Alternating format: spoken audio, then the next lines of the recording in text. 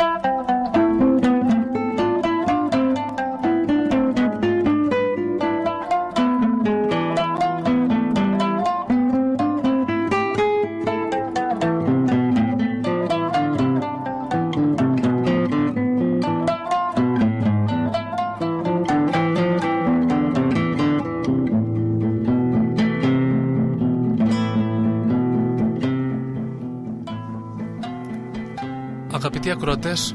ραδιοφωνικού σταθμού Άγια Μετέωρα, καλησπέρα σας. Κοντά σας είναι η εκπομπή Ελληνορθόδοξα και στα μικρόφωνα είναι ο Νίκος Βαξεβανίδης και ο Δημήτρης Σωτηρόπουλος.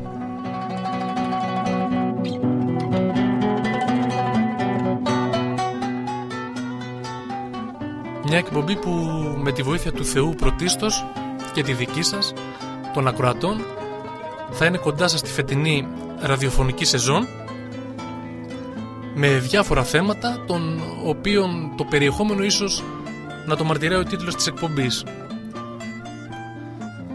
Ελληνορθόδοξα λοιπόν, Ελλάδα και Ορθοδοξία, δύο λέξεις, δύο έννοιες που από τιμή και καμάρι που αποτελούσαν κάποτε έχουν καταστεί δυστυχώς σήμερα κόκκινο πανί όχι μόνο για τους αλόθρησκους και τους αλλοδαπούς αλλά η αμάθεια και η μημάθεια θα λέγαμε των νεοελλήνων την έχει καταστήσει δυστυχώς κόκκινο πανί και εντός των συνόρων και στην κατεξοχήν Ορθόδοξη Ελλάδα που τελικά κατάντησε να είναι ελληνική και ορθόδοξη μόνο κατ' όνομα. Δίπλα μου όπως προανέφερα είναι ο Δημήτρης Σωτηρόπουλος τον οποίον πολλοί από εσάς το γνωρίζετε μέσα από το blog το οποίο διαχειρίζεται Ελλάς Ορθοδοξία μέσα από τα πολλά οδηπορικά τα οποία έχει κάνει σε διάφορα προσκυνήματα ανά την Ελλάδα και γενικότερα μέσα από την προσπάθεια την οποία καταβάλει με τις όποιες δυνάμεις του για να αναδείξει τα ιερά και τα όσια της πατρίδος μας. Δημήτρη, τελευταία επισκέφτηκες και τα δικά μας τα μέρη σου δίνω το λόγο να πεις και εσύ δύο λόγια και τις εντυπώσεις από την περιοχή. Καλησπέρα και πάλι. Καλησπέρα και από μένα στους ε, αγαπητούς ακροατές και σε σένα Νίκο. Σε ευχαριστώ για το καλωσόρισμα. Πράγματι βρίσκομαι εδώ στην ε, φιλόξενη Καλαμπάκα ε, στη σκιά των ε, Αγίων Μετεώρων την οποία έχω ξαναεπισκεφθεί αρκετές φορές αλλά αυτή η επίσκεψη ήταν μια, ένα τριήμερο θα λέγαμε προσκυνηματικό ε, στις περιοχές ε, των νομών ε, Καρδίτσας και Τρικάλων. Ε, η εντυπώση μου είναι επισκέφθηκα έτσι πολλά μοναστήρια των περιοχών ε, από τα απόκριμνα που βρίσκονται στα άγραφα μέχρι κάποια πιο εύκολα προσπελάσιμα. Μπορώ να πω ότι εντυπωσιάστηκα που παλιά μοναστήρια και ιστορικά όπως είναι της περιοχής ε, υπάρχουν μοναχοί ακόμα νέοι ειδικά, νέες αδελφότητες Αυτό είναι το ενθαρρυντικό. οι οποίοι προσπαθούν με όλες τις δυνάμεις να τα έχουν ανοιχτά, τα αναστηλώνουν δέχονται επισκέπτες, τους φιλοξενούν και πιστεύω ότι αυτή η προσπάθεια μόνο θετική είναι γιατί πρέπει αυτά τα μοναστήρια να παραμείνουν ανοιχτά έχουν μεγάλη ιστορία, έχουν μεγάλη πνευματική κληρονομιά. Τα χρειάζεται ο τόπος μας ειδικά στις ε, σημερινές δύσκολες εποχές. Τα χρειάζεται ο κόσμος. Πιστεύω ότι πρέπει να προβληθούν, να μην ξεχαστούν όσα γίνανε εκεί και γιατί όχι και όσα θα γίνουν. Γιατί τα μοναστήρια όπως ξέρουμε ήταν πάντα εστίες ε, εθνικών αγώνων, εθνικής αντίστασης, βοήθειας και προσφοράς ε, στο φτωχό κόσμο στην εποχή μας που ζούμε μια εποχή κρίσης πολλών ε, και διαφορετικών πραγμάτων θα μπορούσαν τα μοναστήρια να συμβάλλουν στην επίλυσή της με πολλούς τρόπους. Κρίση αξιών κυρίως έτσι. Είναι, θα λέγαμε ότι πιστεύω ότι είναι κρίση αξιών κυρίως αλλά υπό την επίφαση της οικονομικής κρίσης τα σκεπάζει όλα. Και είναι κάτι το οποίο είναι απόλυτα λογικό έτσι, γιατί όταν ο κόσμος ε, δεν έχει τον επιούσιο είναι λίγο δύσκολο να ασχοληθεί με άλλα θέματα. Αλλά πιστεύω ότι δεν πρέπει να παραμελούμε και τα υπόλοιπα όσα αφορούν την πίστη και την πατρίδα μας.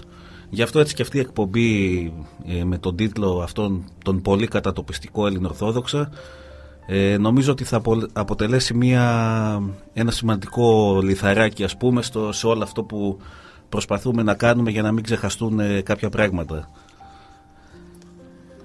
Θα ήθελες να πεις και τρόπο επικοινωνίας ίσως, θα το πούμε ναι. τώρα, θα το πούμε και στο τέλος βέβαια, αλλά ναι, λοιπόν, ε, για τους ακροατές. Οι ακροατές θα μπορούν να επικοινωνήσουν μαζί μας, να θέσουν τα ερωτήματα που έχουν, τις απορίες, τις ενστάσεις τους και τις διαφωνίες τους φυσικά. Στο, στο email ε, ελάσορθόδοξη παπάκι ε, gmail.com ε, καθώς και στο τηλέφωνο του σταθμού. Το τηλέφωνο του σταθμού να πω εγώ ότι είναι το 24 78420 όπως και το email του σταθμού ναι. radio Εδώ να πούμε ότι η εκπομπή αυτή δεν θα είναι ένας μονόλογος ούτε ένας διάλογος απλώς ε, μεταξύ μας αλλά εμείς θέλουμε και τη συμμετοχή του κόσμου την όσο το δυνατόν μεγαλύτερη γιατί πρέπει να είναι μια αμφίδρομη σχέση που να υπάρχει το ραδιόφωνο γενικώς όπως και όλα τα μέσα πιστεύω πρέπει να δίνει τη δυνατότητα σε όλους να εκφράσουν την άποψή τους. Σαφώς. Πολλά τα θέματα, θα έλεγε κανείς ναι. από πού να ξεκινήσουμε και από πού να τελειώσουμε. Ε, επειδή είναι και καινούργια εκπομπή, πιστεύω ότι έχουμε πολλά επίκαιρα θέματα. Ναι, γιατί αυτή η εκπομπή θα ασχολείται με θέματα επικαιρότητας, αλλά θα τα βλέπει μέσα από την ελληνορθόδοξη σκοπιά.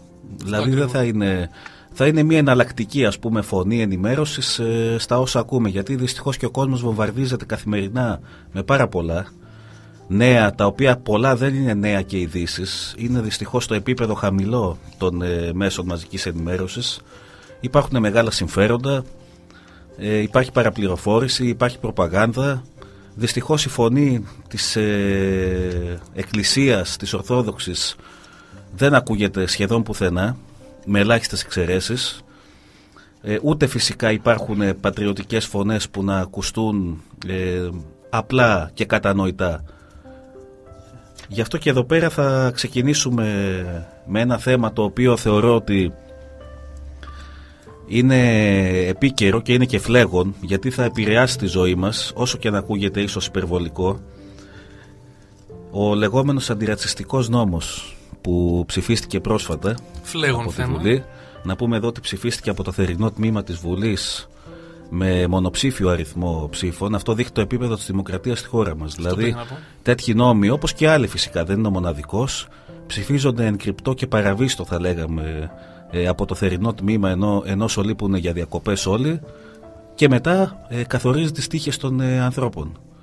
Αυτά δυστυχώς ε, συμβαίνουν στην Ελλάδα Υπάρχει μια αδιαφορία ε, για τη δημοκρατία που όλοι υποτίθεται την υπερασπίζουν και την επικαλούνται. Δυστυχώς δεν θεωρώ ότι υπάρχει αυτή τη στιγμή δημοκρατία όπως θα έπρεπε στη χώρα που τη γέννησε, έτσι. Βέβαια. Ε, αυτή η νομοθετική ρύθμιση, για παράδειγμα. Καταρχήν, ε, ναι. υπάρχει ρατσισμός στην Ελλάδα, δηλαδή χρειάζεται αυτό, νομοθετική ρύθμιση. Ναι, αυτό είναι το θέμα μας, ότι αν κάποιος ξένος, ας πούμε, ακούσει για αυτό το νόμο θα θεωρεί ότι η Ελλάδα είναι μια χώρα ρατσιστική όπου ο κόσμος σκοτώνεται στους δρόμους και υπάρχουν συγκρούσεις δεν μπορεί κανείς να σταθεί αν είναι αλλοδαπός ή αν είναι αλόθρησκος στην Ελλάδα. Ε, θεωρώ ότι δεν υπάρχουν τέτοια πράγματα στη χώρα μας. Ίσα ίσα θα έλεγα ότι η Ελλάδα είναι μια από τις πιο φιλόξενες χώρες του πλανήτη. Όχι μόνο σε επίπεδο φιλοξενίας εμπορικής δηλαδή τουρισμός, ξενοδοχεία κτλ. Αλλά Αρκεί κάποιος να πάει σε ένα χωριό ή σε, μια, σε ένα παραλιακό και ορεινό και να ρωτήσει κάτι τους κατοίκους, θα δει τη φιλοξενία, θα δει ότι θα προσπαθήσουν να τον κατατοπίσουν, είτε είναι Έλληνας είτε ξένος. Δεν υπάρχει δηλαδή εδώ ούτε ξενοφοβία, ούτε ε, κάποιο διαφορετική αντιμετώπιση ακόμα και ανθρώπων που ίσως κάποτε ματοκύλησαν αυτόν τον τόπο. Για παράδειγμα, οι Γερμανοί τουρίστες που έρχονται στην Ελλάδα μιλούν με τα, για τα, με τα καλύτερα λόγια για τη φιλοξενία των Ελλήνων. Σε ποιους, σε αυτούς που οι προγονείς τους, ανεξαρτήτως αν οι ίδιοι ασπάζονται τις απόψεις αυτές, ήταν από το ίδιο έθνος. Πρόσφατες είναι οι μνήμες του αιματοκυλίσματος που επέφεραν σε πολλά χωριά. Και εγώ το έχω δει με τα ίδια μου τα μάτια στην Κρήτη, από όπου έχω καταγωγή από τη μητέρα μου, ότι οι Γερμανοί στην Κρήτη είναι ο τόπος όπου αισθάνονται σαν το σπίτι τους. Που στην Κρήτη ξέρουμε τι κάνει οι Γερμανοί. Όπως και εδώ στον τόπο που είμαστε αυτή τη στιγμή. Ναι. Από την Καλαμπάκα, που έχετε πολλούς τουρίστες ναι, από, τους... ε, από αυτές τις χώρες. Δηλαδή, ε, αν ρωτήσεις κάποιο ξένο που έρχεται στην Ελλάδα Πώς αισθάνεσαι εσύ, Υπάρχει στην Ελλάδα κάποιο πρόβλημα αντιμετώπισης, κάποιο πρόβλημα ρατσισμού; Νομίζω ότι δεν θα βρεθεί ούτε ένας να πει ότι υπάρχει. Βέβαια, βέβαια. Έτσι λοιπόν προωθείται αυτό το νόμος, πιστεύω από κάποια άλλα κέντρα. Αυτό είναι, ας μην γελιόμαστε, ας μην ναι. κοροϊδευόμαστε. Κάπου αλλού αποσκοπεί τελικά. Αποσκοπεί, καταρχήν πιστεύω στη φήμωση κάθε ελεύθερης φωνής. Είτε αυτή είναι στα μέσα μαζικής ενημέρωσης, στα παραδοσιακά, είτε στο διαδίκτυο, είτε ακόμα και στην απλή καθημερινή επικοινωνία που έχουμε. Δηλαδή, αν κάποιος πει σε μια παρέα, σε ένα καφενείο ή κάπου αλλού την άποψή του, κινδυνεύει να ποινικοποιηθεί πλέον.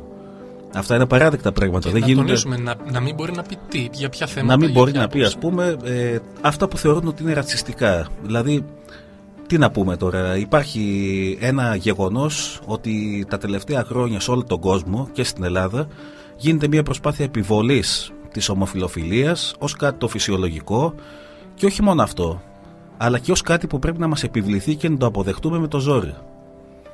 Είναι μια μορφή ιδιότυπη χούντας, θα λέγαμε, όσο και να ακούγεται βαριά η λέξη αυτή σε κάποιους. Δεν νομίζω να ακούγεται πια βαριά αυτή η λέξη. Ναι, έτσι. γιατί το οξύμορο ποιο είναι και το παράλογο της υπόθεσης. Ότι οι ίδιοι διαμαρτύρονται οι ομοφυλόφιλοι ότι συχνά πέφτουν θύματα ρατσισμού και διακρίσεων. Εγώ θα δεχτώ αυτή την άποψη ότι όντως υπάρχει μια μερίδα ανθρώπων που με το που θα δει κάποιον ε, σε αυτή την κατάσταση τον κοροϊδεύει, τον αποκλείει κοινωνικά κτλ. Τον βρίζει. Λοιπόν, εντάξει. Α δεχτούμε λοιπόν ότι και αυτοί οι άνθρωποι έχουν το δικαίωμα να ζήσουν όπως θέλουν, όπως λένε. Δεν θα τους πούμε εμείς τι θα κάνουν, θα τους πούμε από τη μία έννοια, αλλά απ' την άλλη δεν θα τους επιβάλλουμε και τι θα κάνουν στην προσωπική τους ζωή. Σαφώς, ναι. Αλλά το να θες εσύ να μου επιβάλλεις ότι αυτό που κάνεις είναι σωστό, ότι το παιδί δεν πρέπει να έχει δύο γονείς, έναν άντρα και μια γυναίκα. Και είναι και πρότυπο, έτσι, Ναι, υποτίθεται. να, να τους προβάλλεις και να λες ότι εσύ ε, είσαι ρατσιστής άμα δεν δέχεσαι τα παιδιά αυτά των λεγόμενων ομόφυλων ζευγαριών. Ε, όχι, δεν είμαι ρατσιστής. Ρατσιστής είναι αυτός ο οποίος θέλει να επιβάλλει το δικό του, ενώ είναι ακόμα και φυσιολογικό να το πούμε ότι είναι η ομοφιλοφιλία, θέλει να στο επιβάλλει. Δεν είναι αυτό δηλαδή κάτι το οποίο πρέπει να, γι- να γίνεται. Και τώρα βέβαια για το αν είναι φυσιολογικό ή όχι έχουν αποφανθεί εδώ να πω οι επιστήμονες εδώ και πολλά χρόνια. Άσχετα και στην ιατρική κοινότητα, δεν ξέρω αν τα έχεις παρακολουθήσει. Στην Αμερική, από τη δεκαετία του 70 και μετά, όποτε άρχισε το λεγόμενο ομοφιλοφιλικό λόμπι, όπως λέγεται, το gay lobby εκεί, να διαθέτει πακτολούς εκατομμυρίων για διαφήμιση και προβολή της ιδιαιτερότητάς τους σε εισαγωγικά. Ναι. Ε, υπήρξαν περιπτώσεις, υπάρχουν και καταγεγραμμένες ε, γιατρών που απειλήθηκαν επειδή απλά έγραψαν κάτι το οποίο γνωρίζει και ένας πρωτοετής φοιτής της ιατρικής. Δηλαδή ότι η ομο- οφι- ομοφιλοφιλία στην πραγματική της μορφή είναι μια ορμονική διαταραχή που γεννιέται ο άλλος έτσι. Είναι ένα πρόβλημα παθολογικό θα λέγαμε. Δεν φταίει ο άλλος που γεννήθηκε έτσι. Και δυστυχώς ε, αυτό που δεν είναι φυσιολογικό ιατρικά προσπαθούμε ως ε, άνθρωποι να το θεωρήσουμε φυσιολογικό στην καθημερινή μας ζωή. Εγώ προκαλώ οποιονδήποτε αυτή τη στιγμή αμφισβητεί αυτά που λέω και τα θεωρεί ότι είναι αντιεπιστημονικά να πάει σε έναν καθηγητή μιας οποιαδήποτε ιατρικής σχολής και να του θέσει ευθέως το ερώτημα. Μπορείτε να μας πείτε τι είναι ομοφιλοφιλία με ιατρικούς όρους; Και αν πει ότι είναι κάτι το οποίο είναι απόλυτα φυσιολογικό, όπως ας πούμε το να ε, η αναπνοή και η, η εισπνοή και η εκπνοή ή κάτι άλλο ε, απλό και που θεωρούμε όλοι ότι γίνεται, άμα το θεωρεί έτσι, εσύ να μας το πει. Αλλά δεν μπορείς να επιβάλλεις κάτι το οποίο είναι και αντιεπιστημονικό εκτός των άλλων στην κοινωνία. Εκεί είναι που θέλω να καταλήξω. Και βέβαια το, το αποτέλεσμα του να γίνει κάποιος ομοφυλόφιλο, να πούμε ότι δεν γεννιέται με την τάση να γίνει τελικά ομοφυλόφιλος. Μπορεί δηλαδή να έχει κάποιος, κάποιο ορμονικό πρόβλημα, ε, το οποίο είπες και εσύ, αντιμετωπίζεται όμως. Και οι Αγίοι Πατέρες έχουν πει ότι η ομοφυλοφιλία, το, η κατάληξή της είναι πάθος τελικά. Εκεί θέλω να καταλήξω και σε ευχαριστώ για αυτή τη, την μπάσα ας πούμε ότι λένε πολλοί ότι η Εκκλησία, δυστυχώς το λένε και οι ιερωμένοι και οι ιεράρχες ότι η Εκκλησία δεν είναι εναντίον της ομοφιλοφιλίας και ότι ο Χριστός δεν την καταδίκασε και κάποια πράγματα τα οποία είναι τελώς αστήρικτα από θεολογικής άποψης. Καταρχήν, ο, αν ανατρέξουμε στην Παλαιά Διαθήκη θα δούμε την καταστροφή ε, που έγινε στα Σόδομα και στα Γόμορα. Τα Σόδομα γιατί καταστράφηκαν, από τότε επικράτησε και η λέξη Σοδομισμός που εκφράζει την ομοφιλοφιλία, λόγω αυτού ακριβώς του αμαρτήματος. Μετά έχουμε τον Απόστολο Παύλο, ο οποίος χαρακτηρίζει την ομοφιλοφιλία ε, πάθος δαιμονικό, όπως και ο Άγιος Ιωάννης ο Χρυσόστομος. Δηλαδή οι πατέρες της Εκκλησίας και οι Απόστολοι και όλη η Εκκλησία εν γέννη καταδίκασε εξ αρχής την αρσενοκητεία, ομοφιλοφιλία όπως τη λέμε. Αν μου επιτρέπεις, ε, Ναι. δευτερόλεπτα, ε, έχω σημειωμένο, είναι η Α προ Κορινθίου επιστολής Ναι. στίχος 9-11.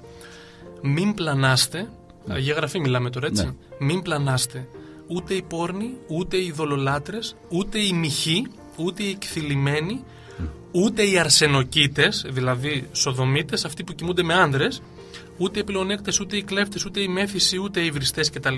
δεν πρόκειται να κληρονομήσουν τη βασιλεία του Θεού.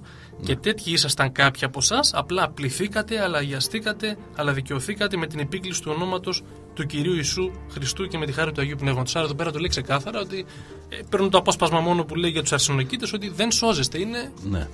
Είναι αμάρτημα, θανάσιμο. αμάρτημα. Ε, και η Εκκλησία, όπως όλοι ξέρουμε, υπάρχουν πολύ πιο αρμόδιοι από μένα να τα πούνε αυτά, ότι δεν καταδικάζει τον άνθρωπο, καταδικάζει την πράξη. Σαφώς. Δεν έχει πρόβλημα δηλαδή με τον άλλον που είναι ομοφιλόφιλος, ακόμα και αν κάνει αυτά τα έσχη που βλέπουμε στα gay pride, τα λεγόμενα και η όλα μετάνοια αυτά. είναι για όλους. Δεν μας απασχολεί ο άνθρωπος πώς δίνεται, πώς εκφράζεται ακόμα και να βομολογεί. Μα, μας απασχολεί η πράξη του. Αυτή καταδικάζουμε. Ούτε η Εκκλησία θέλει να σταυρώσει κανέναν, ούτε να σφάξει κανέναν, ούτε να σκοτώσει όπως κάνουν οι μουσουλμάνοι, ας πούμε, οι Ισλαμικές χώρες στην ομοφιλοφιλία, τους ε, λιθοβολούν και τους σκοτώνουν τους ε, ομοφιλόφιλους. Εμείς δεν ζητάμε να κάνουμε κάτι τέτοιο. Που λένε μερικοί ηρωνικά ότι είστε Ταλιμπάν, ας πούμε. Αυτό δεν ισχύει σε καμία περίπτωση. Ε, αν ίσχυε, θα γίνονταν αυτά που βλέπουμε που γίνονται στη Συρία και σε άλλες χώρες Ε, που δηλαδή, κάνουν οι πραγματικοί Ταλιμπάν. Η, η μετάνοια εξομολόγησης και συγχώρησης είναι ταλιμπανισμός, γιατί εμείς αυτό λέμε. Αυτό λέει η Ορθόδοξη Εκκλησία. Και δυστυχώς επειδή κάποιοι ιερωμένοι και ιεράρχες που κατά τη γνώμη μου ορθά πράττουν, υψώνουν τον τόνο της φωνής τους απέναντι σε όλη αυτή τη λέλαπα της παγκοσμιοποίησης που εκφράζεται είτε μέσω της πολιτικής ορθότητας της λεγόμενης, δηλαδή υπέρ της ομοφιλοφιλίας, υπέρ των ε, ότι σών και καλά υπάρχει ρατσισμός σε μια χώρα και πρέπει να απολογίστε. Καλά κάνουν οι ιεράρχες και μιλάνε με τον τρόπο που μιλάνε, με αγάπη πάντα. Εγώ επειδή παρακολουθώ τα κείμενα όλων όσων ε, έχουν το σθένος ε, να μιλήσουν, βλέπω ότι πάντα υπάρχει μια αγάπη, δεν υπάρχει καταδίκη του αμαρτωλού. Υπάρχει μια αγάπη, μια, μετά, μια προτροπή προς μετάνοια και συγχώρεση. Εξάλλου εμείς οι ίδιοι δεν είμαστε τίποτα για να καταδικάζουμε ή να ε, καλά θεοποιούμε κάνει. κάποιον. Μόνο ο Θεός μπορεί να συγχωρέσει. Απλώς εμείς προτρέπουμε τον άλλον, κυρίως βέβαια η κληρική, να κάνει κάτι το οποίο είναι σύμφωνα με την Αγία Γραφή. Τελικά οι δυσκολίες που θα αντιμετωπίσουν οι απλοί πολίτες από την εφαρμογή του είναι ότι Ναι. δεν θα μπορούν να μιλήσουν ας πούμε, δημόσια. Ε, Έχεις να πεις κάτι άλλο πάνω σε αυτό; Έχω να Ε, πω σε αυτό. Ε, Δυστυχώς θα πω πάλι για τη στάση της Εκκλησίας ότι όπως και πολλών ακόμα οι οποίοι είχαν αγνές προθέσεις έπεσαν στην παγίδα που τους στήθηκε επειδή όπως ξέρουμε στην αρχή το λεγόμενο αντιρατσιστικό νομοσχέδιο θεωρούσε γενοκτονία μόνο το ολοκαύτωμα των Εβραίων και μετά από παρεμβάσεις της Ιεράς Συνόδου καθώς και άλλων προσώπων πολιτικών και μη συμπεριλήφθηκαν οι γενοκτονίες των ε, ποντίων και άλλων μικρασιατών. Δεν είναι αυτό το ζήτημα το αν συμπεριλήφθηκαν γενοκτονίες γιατί όταν συζητάς και μόνο την ύπαρξη τέτοιου νόμου είναι σαν να αναγνωρίζεις εμέσως και άμεσα ότι υπάρχει ρατσισμός στη χώρα. Δηλαδή εγώ αναρωτιέμαι το εξής, ας πούμε για το εβραϊκό ολοκαύτωμα. Που καλώς κατά τη γνώμη μου θα έπρεπε να διώκονται ποινικά όσοι το αμφισβητούν βέβαια δεν μπορώ να πω ότι η αμφισβήτηση είναι μονόπλευρη εκεί γιατί υπάρχουν και ιστορικοί στο ίδιο το Ισραήλ ε, Εβραίοι πολίτες και θρησκευόμενοι και όλα στη θρησκεία τους οι οποίοι αμφισβητούν τα νούμερα καθώς και τον τρόπο που δίνουν στο, τα επίσημα στοιχεία το κράτος του Ισραήλ σύμφωνα με τους νόμους θα πρέπει να είναι στη φυλακή αυτή Ναι. Λοιπόν, αλλά το, το να εκφράσει μια ιστορική άποψη βασισμένη κάπου δεν σημαίνει ότι είσαι ρατσιστής. Από εκεί και πέρα, αν βέβαια λες ότι καλά τους κάναν και τους κάναν αυτά, Ναι, αλλάζει. εκεί μπορούμε να πούμε ότι θα έπρεπε να διωχθεί ποινικά. Αλλά όχι μόνο αυτό. Να Αλλά διο- εσύ λες αυτή τη στιγμή ότι απλά και μόνο η αναφορά της ιστορίας Ναι. αυτή τη στιγμή. Δηλαδή, αν κάποιος πει ότι ξέρετε, εγώ δέχομαι ότι έγινε το εβραϊκό ολοκαύτωμα, αλλά αμφισβητώ τον αριθμό των θυμάτων. Και παραθέτω τα ιστορικά στοιχεία Α, Β, Γ, Δ.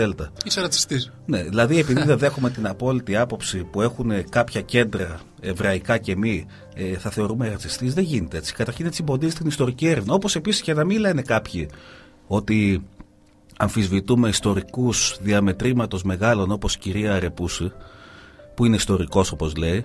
Όπως Ε, λέει. Ναι, γι' αυτό το λέω όπως λέει, γιατί εγώ πιστεύω ότι σύμφωνα με τα στοιχεία που διαθέτω και που έχω βγάλει και στην ιστοσελίδα, όπως και άλλοι φυσικά, είναι καθηγήτρια γαλλική στην Ιωνίδιο Σχολή Πειραιά. Τέλος πάντων, εντάξει, αυτό μπορεί να είναι δική μου παραπληροφόρηση, δεν είναι εκεί το θέμα μας. Εγώ επιτρέπω, ας πούμε, ε, όπως και άλλοι, να κάνει την ιστορική της έρευνα. Λέει, ας πούμε, ότι συνοστίστηκαν Έλληνες στη Σμύρνη. Ωραία, το αποδεικνύει ιστορικά κάπου.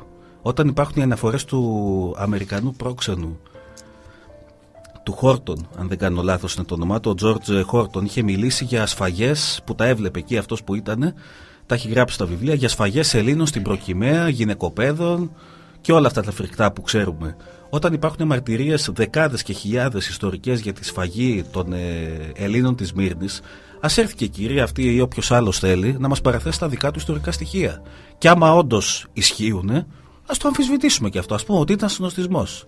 Αλλά όχι αυθαίρετα επειδή έχει πίσω ότι σε ένα πλέγμα από μέσα μαζικής ενημέρωσης άλλα συμφέροντα που την υποστηρίζουν και δρούν αντεθνικά και αντιχριστιανικά και ανθεληνικά να λέμε ότι επειδή, α, επειδή το είπα αυτό και αμφισβητεί την ιστορική αλήθεια θα το δεχτούμε. Όχι, όποιος θέλει να τα αμφισβητήσει όπως και εγώ σε ό,τι κάνω προσπαθώ πάντα να έχω τα απαραίτητα στοιχεία και όχι να μιλάω με αυθαιρεσίες. Λοιπόν, γι' αυτό και, και καταλήγοντας στην ερώτηση που είπες ότι ε, τι δυσκολίες θα αντιμετωπίσουν οι πολίτες, mm. ήδη καταρχήν επειδή ασχολούμαι πολύ με το διαδίκτυο, όπως τα ξέρεις, mm. υπάρχουν ιστοσελίδες, όχι υβριστικές ούτε που να προκαλούν να, να εγείρουν πάθη και μίση, οι οποίες θα έχουν πρόβλημα μόνο και μόνο να κάνουν οποιαδήποτε αναφορά στο gay pride, ας πούμε. Και που είναι, ξέρω εγώ, ότι αυτό είναι απαράδεκτο. Είναι έσχος να γίνεται. Εκεί θα υπάρξει πρόβλημα. Δηλαδή και κάποιοι Μητροπολίτες που μιλάνε γι' αυτό πιστεύω ότι θα φημωθούν. Η... Από την άλλη, ο Ορθόδοξος κόσμος, ο απλός λαός, οι χριστιανοί, περιμένουν το πώς θα αντιμετωπίσει το θέμα η Ορθόδοξη Εκκλησία. Ναι και βλέπουμε μέχρι στιγμής τουλάχιστον εγώ προσωπικά, μπορεί βέβαια να μην έχω ενημερωθεί καλά, αλλά εγώ προσωπικά το αίσθημα που έχω είναι ότι είναι πενιχρή η φωνή προς το παρόν. Δεν ξέρω τώρα. Δυστυχώς είναι πενιχρή. Αν πρέπει να περιμένουμε λίγο ακόμα, δεν ξέρω. Εδώ να πούμε βέβαια ότι χάρη στο συνοδικό πολίτευμα, με εισαγωγικά ή χωρίς που υπάρχει στην Ορθόδοξη Εκκλησία, που είναι το πιο δημοκρατικό πολίτευμα που μπορεί να υπάρξει, ε, μπορεί κάθε Μητροπολίτης, ανεξαρτήτως αν συμφωνεί με την κεντρική γραμμή της Ιεράς Συνόδου, να εκφράζει τη γνώμη του. Αυτό είναι πολύ σημαντικό. Δηλαδή δεν το βλέπουμε σε ένα κόμμα πούμε, που εκφράζει τη γνώμη του αρχηγός και οι υπόλοιποι υπακούν, αλλιώς φεύγουν. Ναι. Εδώ υπάρχουν, δόξα τω Θεώ, Μητροπολίτες, βέβαια θα πω μετρημένοι στα δάχτυλα του ενός χεριού ή το πολύ των δύο, οι οποίοι έχουν αντιδράσει. Αλλά δυστυχώς η κεντρική γραμμή που δόθηκε από την ε, Ιερά Σύνοδο ήταν ότι εμείς αποδεχόμαστε το αντιρατσιστικό αρκεί να γίνουν οι προσθήκες αυτές που είπαμε για γενοκτονίες ποντίων κλπ. Και τι έγινε εκεί με τις γενοκτονίες αυτές; Δεν χαρακτηρίστηκαν ως γενοκτονίες ποντίων, αλλά γενοκτονίες χριστιανικών λαών της Ανατολής. Κάτι το οποίο είναι εντελώς ε, αόριστο και νεφελώδες. Ναι. Για να μην παρεξηγηθεί η Τουρκία, να το πούμε ότι αυτό έγινε. Γιατί αν τυχόν γράφαμε γενοκτονίες Ελλήνων, Αρμενίων, Ποντίων, θα είχαμε μεγάλο πρόβλημα με την Τουρκία σε πολιτικό επίπεδο. Οπότε βλέπουμε ότι ακόμα και με αυτό το, την αλλαγή που έγινε σε όφελος ας πούμε της ε, αλήθειας που ζήτησε η Εκκλησία δεν έγινε. Και έχουμε και το άλλο το οποίο θα φέρουν ύπουλα πιστεύω εντός λίγων ε, μηνών με οποιαδήποτε κυβέρνηση θα έρθει το θέμα της, του Συμφώνου Συμβίωσης ε, Ομόφυλων Ζευγαριών που θα καταλήξει και στο δικαίωμα υιοθεσίας από μέρους τους κτλ. Και δυστυχώς είδα εκεί κάποιες αντιδράσεις από Μητροπολίτε και λέγανε ότι εμείς προς το παρόν δεν λαμβάνουμε θέση γι' αυτό.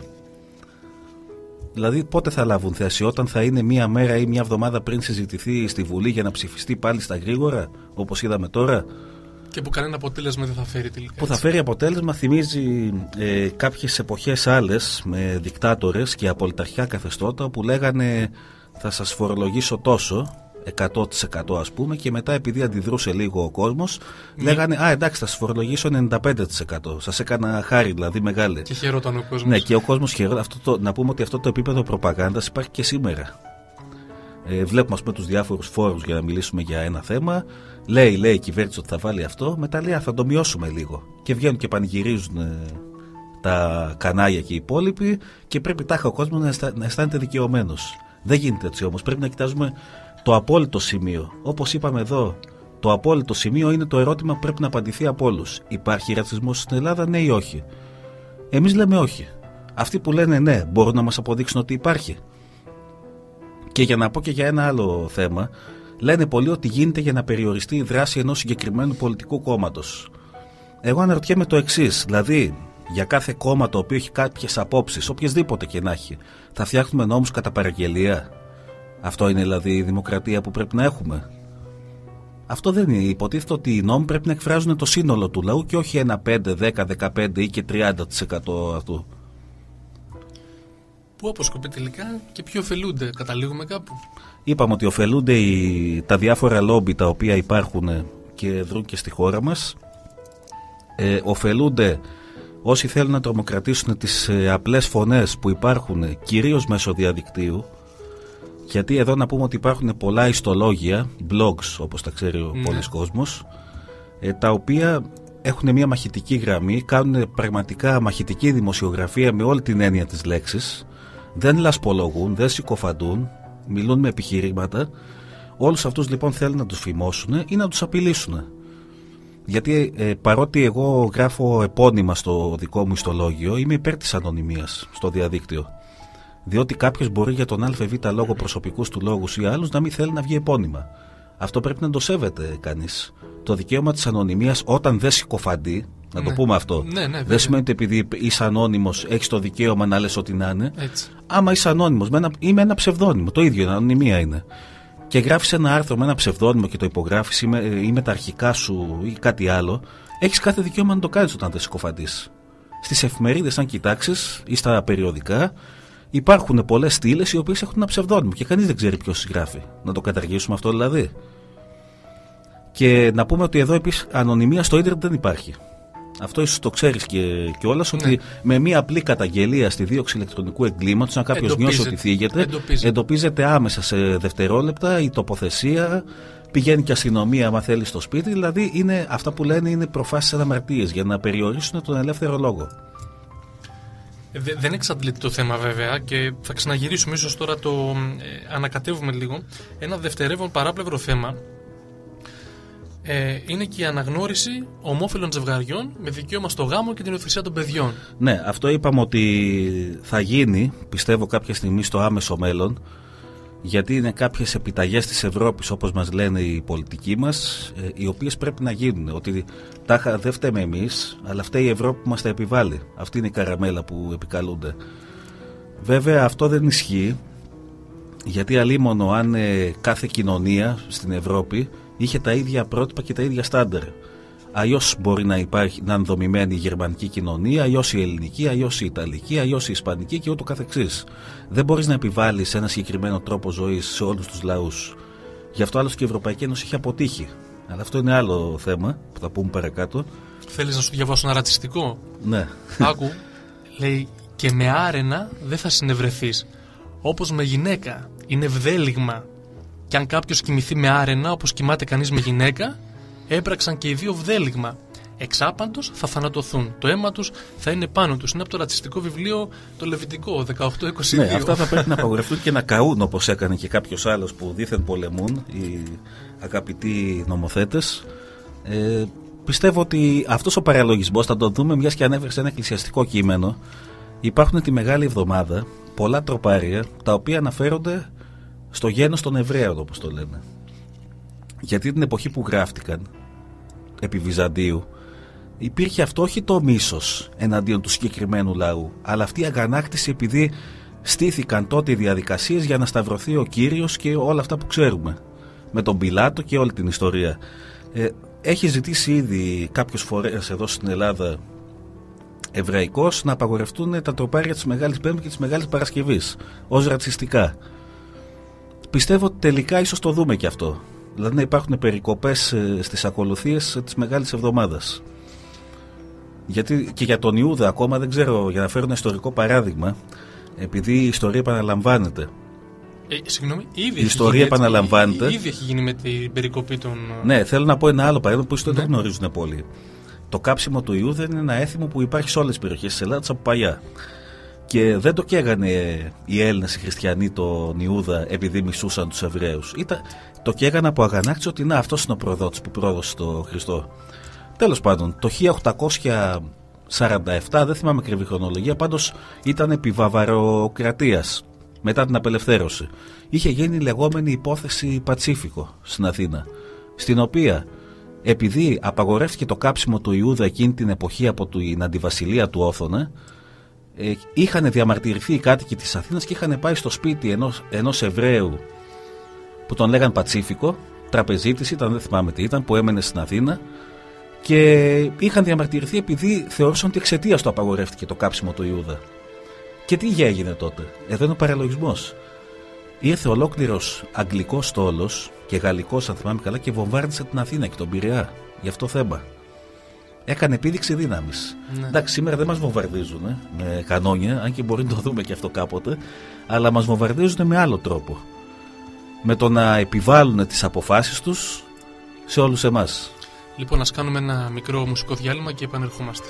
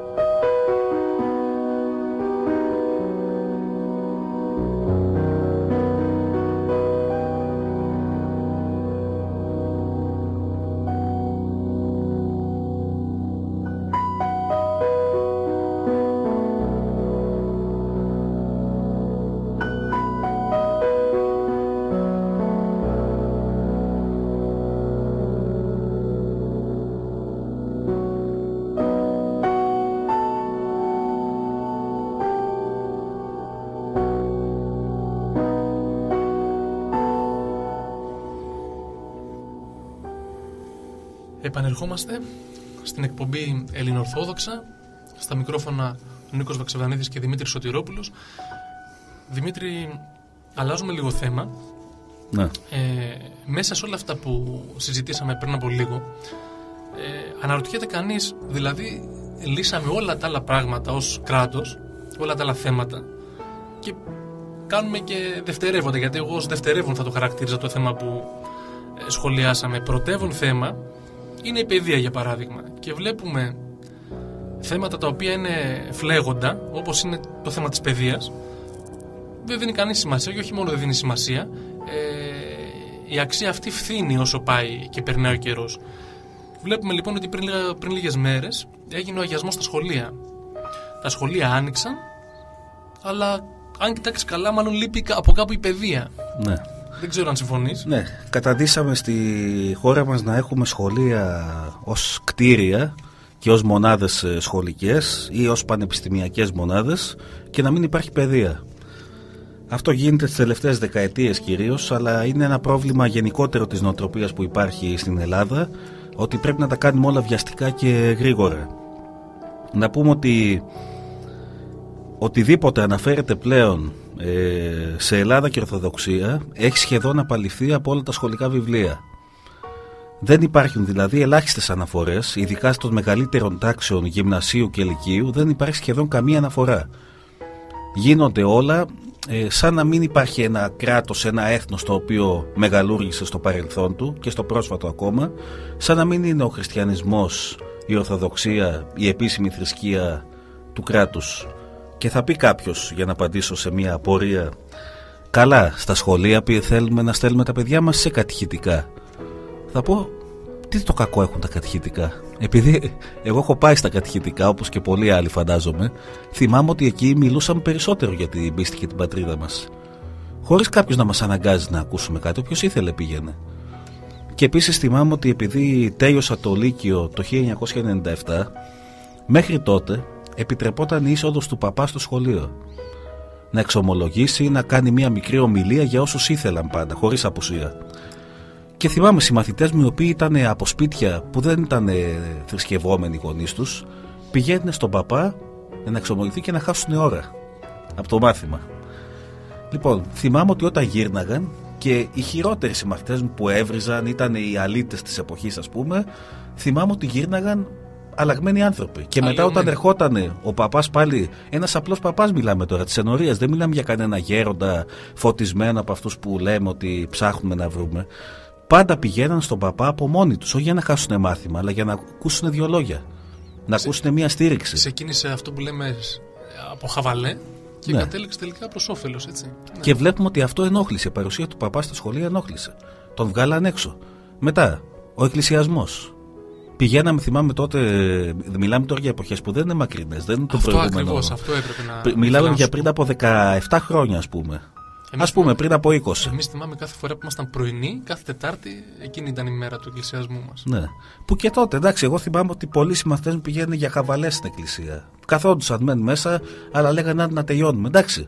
Δεν μπορείς να, να το κάνεις πιστό κατευθείαν από την πρώτη ώρα και από την πρώτη μέρα. Μόνος του θα με το ζόρι, ναι. Αλλά δεν καταλαβαίνω γιατί το κράτος ενώ Ξέρω ότι χρηματοδοτούνται επισκέψεις σε τζαμιά και σε συναγωγές, για παράδειγμα, στα πλαίσια της ε, εκμάθησης των άλλων θρησκειών, κοντεύει να καταργήσει τον εκκλησιασμό. Αυτό είναι παράλογο. Από τη στιγμή που επικρατούσα θρησκεία στην Ελλάδα σύμφωνα με το ισχύον σύνταγμα είναι η, η Ορθόδοξη Ανατολική Εκκλησία, όπως λέει, θα έπρεπε να το σεβόμαστε αυτό. Ναι, μεν να μπορεί ο κάθε αλόθρησκος να εξασκήσει την πίστη του ελεύθερα, να μην συμμετάσχει στην προσευχή αν θέλει. Κανένας δεν υποχρεώνουμε με το ζόρι. Λοιπόν, και άμα εγώ δέχομαι και το άλλο που λένε μερικοί, ότι σε πολλά σχολεία που υπάρχουν παιδιά μεταναστών, ας κάνουν και προσευχή δική τους. Οι μουσουλμάνοι, ας πούμε, ας κάνουν ένα χώρο να προσεύχονται. δεν με ενοχλεί αυτό. Με ενοχλεί όμως να θες να κάνεις αυτά χάρη μιας δημοκρατίας και ενός δίθεν πολυπολιτισμού. Υποβαθμίζοντας στην ουσία την κατεξοχήν ναι. πίστη του τόπου τούτου που είναι η Ορθόδοξη. Ναι. Δεν μπορείς να δίνεις δικαιώματα, να δώσεις δικαιώματα, αλλά να μην αφαιρέσεις και δικαιώματα. Αυτό είναι το λάθος και να, ε, τα βιβλία που υπάρχουν, ας πούμε τώρα, υπάρχουν, υπάρχουν και άλλοι πιο αρμόδιοι από μένα να μιλήσουν. Και ίσως έχουμε στι επόμενες εκπομπές την τιμή να φιλοξενήσουμε κάποιους ε, από αυτούς που έχουν γράψει αναλυτικά για αυτά τα θέματα ε, είναι πλέον όργανα προπαγάνδας εναντίον της ε, πίστης και της πατρίδας μας. Το πιστεύω αυτό που λέω, όχι μόνο στα ιστορικά θέματα που ακούστηκαν όπως και για το όνομα που αναφέραμε πριν, γίνεται διαστρέβλωση της ιστορίας. Κοίτα, ε, άκουσα ένα, συγγνώμη που σε ναι. διακόπτω, ένα το οποίο το είπε κάποιος χαριτολογώντας, αλλά νομίζω ότι δεν απέχουμε και πολύ. Λέει σε λίγο τα παιδιά, ε, άμα, άμα ρωτήσεις τι ήταν ο Καραϊσκάκης, θα σου πούνε το γήπεδο του Ολυμπιακού, δεν ξέρουν κάτι άλλο. Ναι. Έτσι. Μακάρι να ξέρω και το γήπεδο, γιατί έξω από το γήπεδο βρίσκεται ο τάφος του Καραϊσκάκη. Άσχετα να τον προσπερνούν όλοι. Είναι ο τάφος του με τα οστά του μέσα εκεί.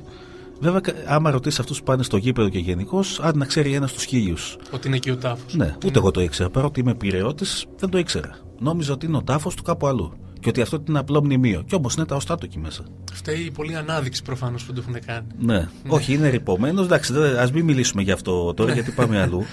Ε, Απλώς εκείνο που θέλω να πω είναι ότι στα βιβλία Λυκείου, ειδικά που έχει τύχει και έχω δει Δευτέρας και Τρίτης Λυκείου, για το 1821, την επανάστασή μας, υπάρχουν 2 με 3-4 σελίδες το πολύ, ενώ για το διαφωτισμό, το λεγόμενο, το γαλλικό, υπάρχουν 20 σελίδες. Ή για την επανάσταση των ε, Πολσεβίκων στη Ρωσία ή για γεγονότα διεθνή. Και εγώ αναρωτιέμαι, να μάθουν και τα παιδιά για ό,τι έγινε στην υπόλοιπη Ευρώπη και στον υπόλοιπο κόσμο, αλλά να μην μάθουμε πρώτα τα δικά μας. Δηλαδή, επειδή ε, σήκωσαν το λάβαρο τότε οι ιερείς με τους αγωνιστές και τους ευλόγησαν, αυτό το απαγορεύει η σημερινή παιδεία.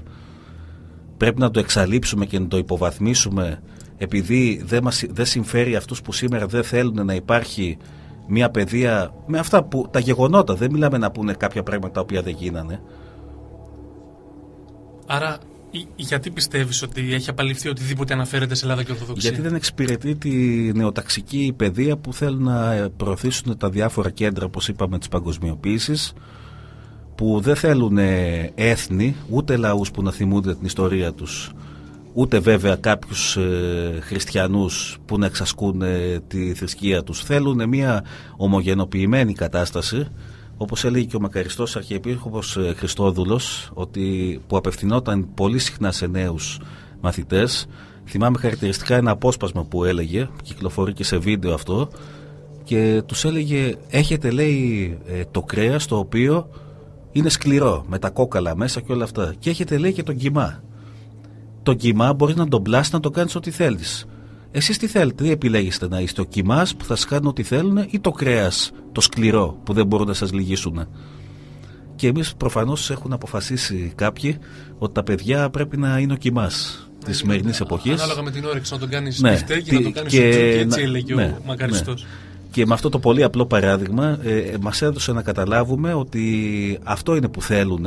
Δεν θέλουν έτσι μια σταθερή γραμμή ενιαία να υπάρχει από ένα λαό, αλλά θέλουν να είναι ένας κοιμάς που θα μπει μέσα στη μηχανή που τον ε, αλέθουν για να αλεστεί μαζί με τους υπόλοιπους. Ξέρεις, πολλές φορές τα έχουμε κουβεντιάσει αυτά με πολύ κόσμο, βρισκόμαστε σε παρέ. Ε, αυτή, είναι, αυτή είναι το, η διάγνωση. Πιστεύεις ο τρόπο αντίδρασης, κάποιος θα πει εντάξει, καλά, όλα αυτά τα ξέρω κι εγώ. Κάθομαι εκεί, τα λέω. Τι, τι, τι κάνουμε από εδώ και πέρα; Ο τρόπος αντίδρασης είναι, καταρχήν πρέπει να αναλάβουν τις ευθύνες τους όσοι δάσκαλοι έχουν μείνει πια σε αυτόν τον τόπο που υπάρχουν. Ε. Δάσκαλοι οι οποίοι και καθηγητές οι οποίοι είναι αξιόλογοι απλώς φοβούνται μέσα σε όλο αυτό το κλίμα της τρομοκρατίας που υπάρχει και της ισοπαίδωσης των πάντων φοβούνται να λάβουν ευθύνες γιατί θα, θα υπάρξουν αντιδράσεις από τους συναδέλφους τους λογικά. Εγώ θα έλεγα όσοι μπορούν δάσκαλοι και καθηγητές να κρούσουν τον κόδωνα του κινδύνου, να μαθαίνουν και στα παιδιά πράγματα τα οποία είναι θέματα ελληνορθόδοξα ας πούμε και να μην περιορίζονται μόνο στο σχολικό βιβλίο. Ούτε να λένε ότι εμείς φοβόμαστε να πούμε γιατί θα μας κατηγορήσουν τάχα κάποιοι για προπαγάνδα. Προπαγάνδα αυτή τη στιγμή γίνεται στα σχολεία αλλά εναντίον Έτσι. της πίστης και της πατρίδας. Οπότε αφού γίνεται ήδη, δεν είναι προπαγάνδα να πεις την αλήθεια. Και επίσης θα έλεγα ότι πρέπει και η Εκκλησία να λάβει τις ευθύνες της, να έρθει σε επαφή κοντά με τους νέους περισσότερο, όχι με τρόπο εκοσμικευμένο όπως δυστυχώς βλέπω και μερικοί ε, λένε ότι προκειμένου να προσελκύσουμε τους νέους θα επιτρέψουμε τα πάντα στην Εκκλησία. Μπορεί να γίνει μια διακριτική προσέγγιση, αλλά πάντα με γνώμονα την αλήθεια. Όχι τι συμφέρει εμάς και πώς θα προ- προσκαλέσουμε και πώς θα προσελκύσουμε κόσμο. Η αλήθεια δεν αλλάζει του Χριστού και του Ευαγγελίου. Είναι ίδια. Δεν μπορούμε να λέμε ότι θα την αλλάξουμε για να προσελκύσουμε κόσμο. Θα τη δώσουμε όπως είναι και από εκεί και πέρα ο άλλος άμα θέλει ας την ακολουθήσει. Και τέλος, ε, σε αυτό το θέμα που ανέφερες πώς μπορούμε να αντιδράσουμε, είναι πρώτα απ' όλα εμείς οι ίδιοι ως απλοί πολίτες να μιλάμε μεταξύ μας και να λέμε αυτά που σκεφτόμαστε και μόνοι μας και έχουμε κάποιες απόψεις και στους άλλους. Να υπάρχει μια εξωστρέφεια δηλαδή.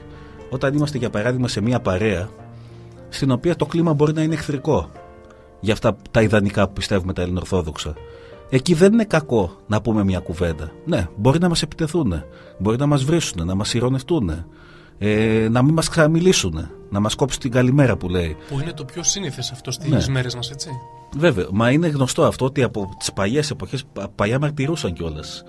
Λοιπόν, εμείς δεν ζητάμε να μαρτυρήσουμε και να χύσουμε το αίμα μας για το Χριστό και για την Ελλάδα. Αλλά θα πρέπει τουλάχιστον να λέμε αυτά που λέμε, με το να μαζευόμαστε για παράδειγμα. Μια ομολογία. Να είμαστε εμείς οι δύο εδώ πέρα που βρισκόμαστε αυτή τη στιγμή στο στούντιο ή να είμαστε με άλλα 100 άτομα δικούς μας που τα πιστεύουμε και να κάνουμε, να λέμε, Α, τι ωραία που τα λέμε. Εμείς είμαστε, είμαστε καλοί χριστιανοί, είμαστε και πατριώτες, μια χαρά είμαστε εμείς, δεν χρειάζεται τίποτα άλλο. Πρέπει να βγούμε προς το έξω. Δεν μπορεί να αφήνουμε τον υπόλοιπο κόσμο να, να εκφράζει τις απόψεις του, που δεν είναι καν απόψη. Εγώ επειδή έχω καταλάβει μερικά πράγματα, επειδή ασχολούμαι με το διαδίκτυο ειδικά, ότι υπάρχει κόσμος ο οποίος έτσι έχει μάθει να λέει. Έτσι του λένε στα κανάλια, έτσι του λένε οι διάφορες απόψεις που επικρατούν. Και όταν καθίσεις και τους μιλήσεις και τους πεις, για κάτσε ρε παιδί μου, αυτό που λες το στηρίζεις κάπου. Ή, ή ιστορικό γεγονός ή οτιδήποτε άλλο. Ή από προσωπική εμπειρία ναι. τις περισσότερες φορές όχι. Και λες, σου λέει κάποιο πράγμα για, για κάποιους μοναχούς, ας πούμε. Ένα παράδειγμα. Και σου ε. λέει ότι οι τάδε μοναχοί έκαναν το, αυτό το σκάνδαλο. Το είδες, σου Του λες, όχι, σου λέει, το απαντάς πολύ ήρεμα και λογικά.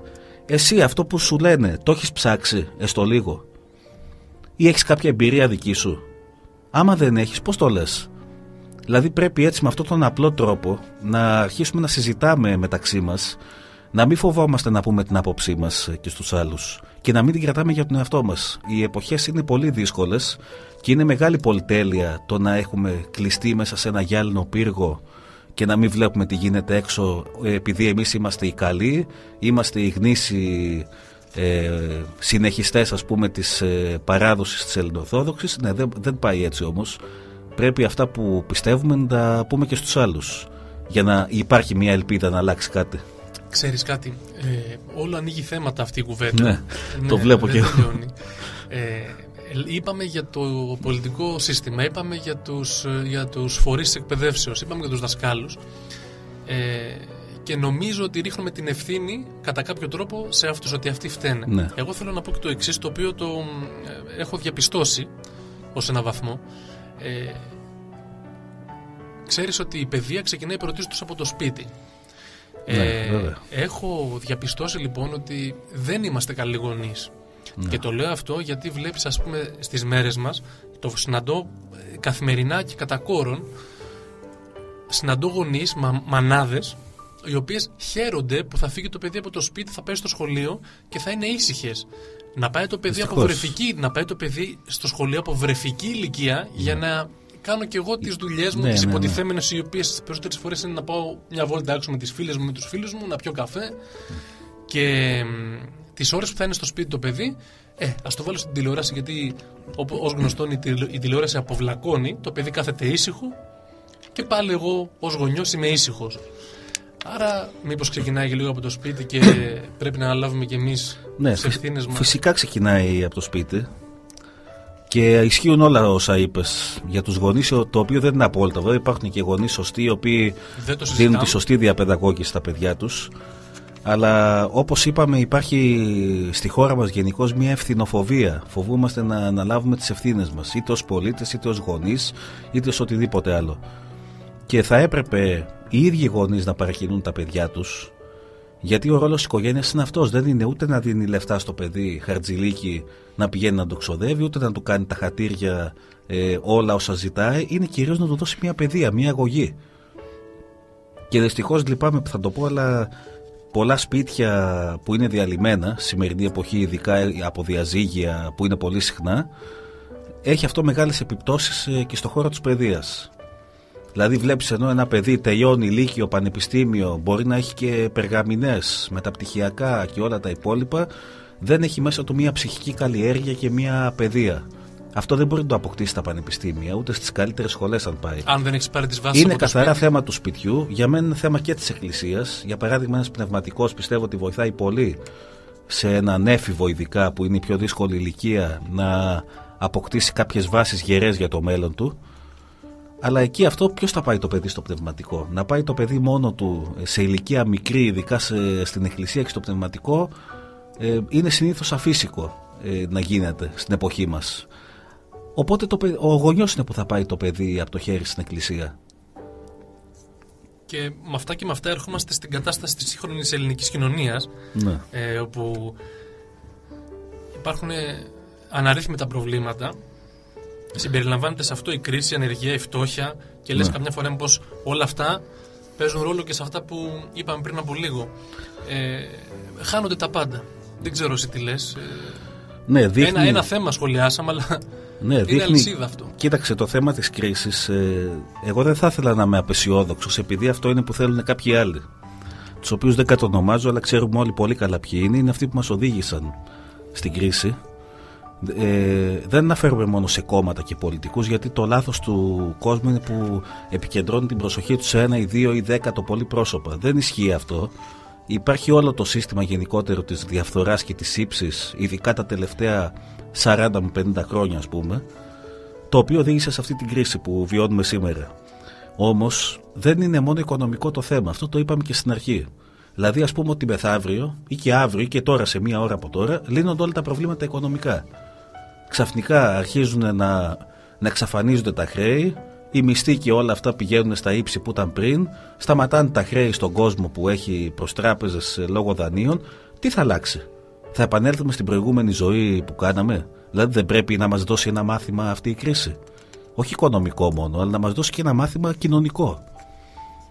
Δηλαδή αλλάξαμε τις συνήθειές μας καθόλου ή, ή πολύ γίναμε χειρότεροι; Αυτό ήθελα να σε ρωτήσω. Προς το παρόν, τι βλέπεις εσύ, Ότι βοήθησε. Εγώ δυστυχώς βλέπω ότι υπάρχει μια αφύπνιση του κόσμου, ένα, Κοιτά, μιας ε, μεγάλης στο- μερίδας. Στο ραδιόφωνο στο οποίο είμαστε, χρησιμοποιείς άνετα, άμα θέλεις, και, τις- και πατερικούς όρους. Και εγώ θα ρωτήσω, Ναι. βλέπεις να υπάρχει μετάνοια λοιπόν; Δυστυχώς όχι. Δεν και το υπάρχει λέω αυτό για τον μετά. εαυτό μου πρώτα απ' όλα. Για να μην φανεί ότι ε, εγώ τα είχα κάνω ως ιεροεξεταστής μαθήματα στους αυτά άλλους. να πούμε στους ε, ακροάτες ότι τα λέμε για να τα ακούμε εμείς πρωτίστως. Ε, βέβαια, μα εννοείται, εννοείται ότι εμείς απλώς είμαστε ε, το μέσο το οποίο μπορεί να ε, αναφέρεται κυρίως στον εαυτό μας και μετά στους άλλους. Δεν ε, Έτσι. έχουμε εμείς κάποια ιδιότητα ε, που καθόμαστε σε ένα θρόνο ας πούμε, και κοιτάζουμε τους άλλους αφιψηλού. Ε, όλοι δυστυχώς, το είπα και πριν, ότι η κρίση μας έχει κάνει ίσως χειρότερους. Δεν είναι μόνο ε, τα οικονομικά, είναι ότι βλέπουμε, ξέρω για παράδειγμα, πολλά, πολλές οικογένειες οι οποίες με τα πρώτα προβλήματα χώρισαν τα αντρόγυνα λο- για οικονομικούς λόγους υποτίθεται, αλλά οι λόγοι ήταν άλλοι. Απλώς το οικονομικό βοήθησε να βγουν στην επιφάνεια και άλλα προβλήματα που υπήρχαν. Όπως το είπαμε πριν, η έλλειψη παιδείας ε, και όλα αυτά που είπαμε. Βέβαια, εδώ να πούμε ότι παιδεία, αξίες, όλα αυτά είναι στον περισσότερο κόσμο σε δεύτερη μοίρα. Να. Οι περισσότεροι λοιπόν κοιτάνε τα οικονομικά, την οικονομική κρίση και αυτή η οικονομική κρίση εντός εισαγωγικών, ε, γιατί. ε, Είπαμε έχει- ότι είναι κρίση με πολλών... ε, Το έχουμε πει ναι. και το έχουμε ακούσει χιλιάδες φορές, είναι πιο πολύ πνευματική κρίση. Ναι. Εν πάση περιπτώσει, έχει φέρει ως αποτέλεσμα το πολλοί κόσμος, το ότι πολλοί κόσμος, πολλά νέα παιδιά κυρίως, επειδή δεν βρίσκουν εδώ πέρα οικονομική άκρη, θα λέγαμε, Ναι. Καταφεύγουν στο να μεταναστεύσουν στο εξωτερικό και να τα παράτουν όλα πίσω και να φεύγουν.